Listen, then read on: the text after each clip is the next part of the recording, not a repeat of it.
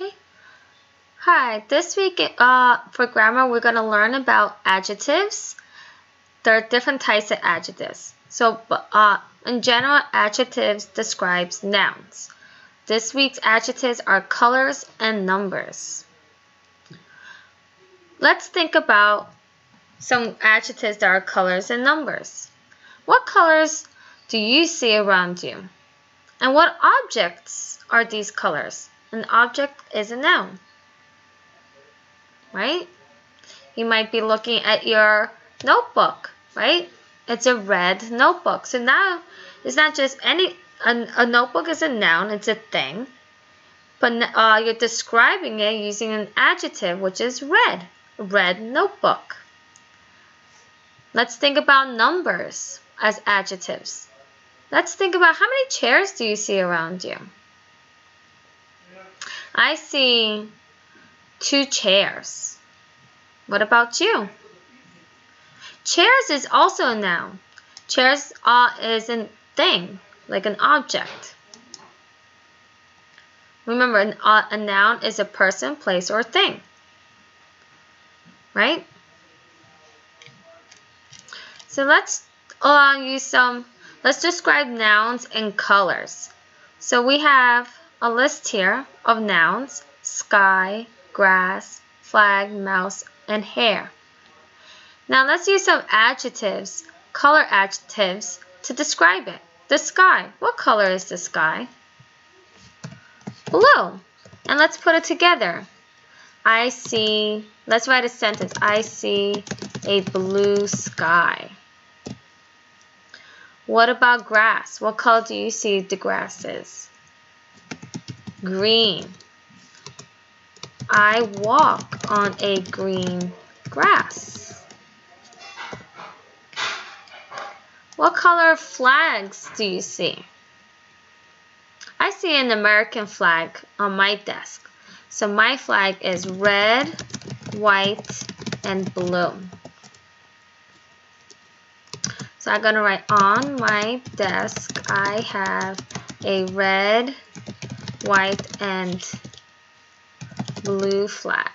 Oops. And I also forgot to do a space between my red and white and a comma. And the mouse. So you could talk about the mouse that runs around the house or the mouse that you use for your laptop. Let's all pretend we use the mouse that runs around the house. What color is that mouse? Gray. I see a gray mouse. Or you could think about Mickey Mouse, you know? He's like black and white with some red, right? And what color is your hair? I know some of you have blonde, dark brown, black, right? I'm going to write brown. I have brown hair. So these are some in this center column, we see some adjectives that are in colors, and they're describing our nouns. And you can see that we can make, put it together and make sentences. Now let's look at some nouns that uh, that we could use. I mean, um, we could use adjectives, numbers to describe some of these nouns. Like we, uh, like earlier we tried with chairs. Like how many chairs do we see? Let's pick a number. Usually in the kitchen we have about four chairs, right? So in the kitchen there are four chairs. So I could really rewrite this number in word form.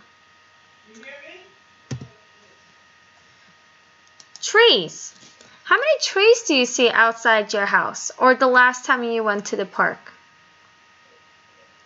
I'll say I see like about seven trees. Or I could write the word seven. And over here I could write the number four. Seven. There are seven trees outside. And sometimes adjectives, we want to know how many there are. How many houses are on your block? I wonder. I'm going to write there are 10. There are 10 houses on my block. How many cups do you have in the kitchen? Ooh, what a challenge to count them all, right? Well, let's do, how many cups do you use to drink water? One, right? We can only use one cup at a time.